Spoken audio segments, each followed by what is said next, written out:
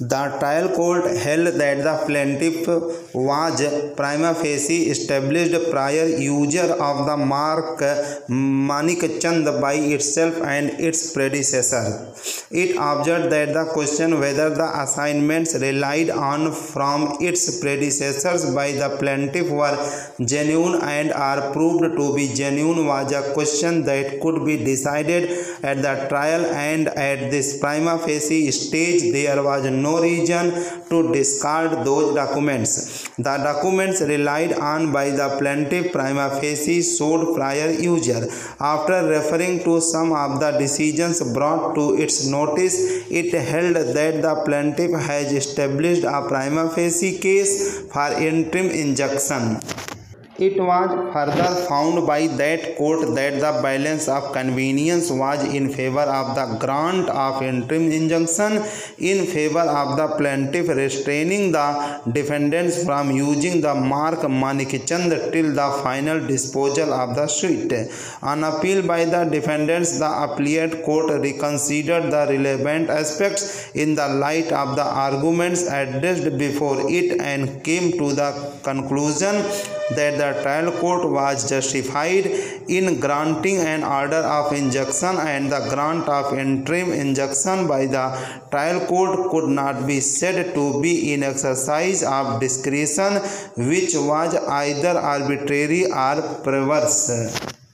the appellate court observed that the trial court at this stage was not wrong in coming prima facie to the conclusion that the prior user of the mark was by the predecessors of the plaintiff and the plaintiff.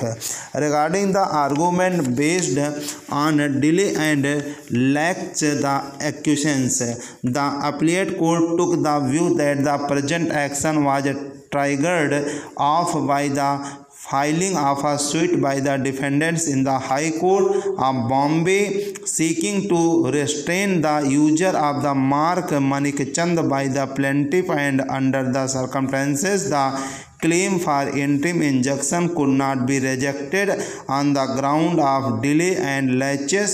when both sides seemed to agree that the marks were similar. the appellate court also took note of the number of prosecutions initiated against the defendants under the prevention of food adulteration act in respect of pan masalas and gutka sold under the same manikchand and indicated that the plaintiff would be seriously prejudiced and its reputation affected if the defendants are allowed to carry on their trade in these products under the same manichand thus finding no reason to interfere with the grant of interim injunction by the trial court the lower appellate court dismissed the appeal filed by the defendants but directed the trial court to try and dispose of the suit within a period of 6 months from the date of receipt of a copy of its order at this introductory stage it would not be proper for this court to enter into an adjudication based on the various documents produced before this court which are not of undoubted authenticity and the genuineness acceptability and value of which are mutually questioned